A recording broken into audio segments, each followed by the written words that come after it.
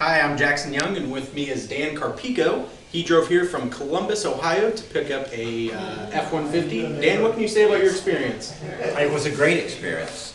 I, I, they did everything they said they were gonna do, and it was, uh, they made it easy. Awesome, we appreciate it, thank you. You bet.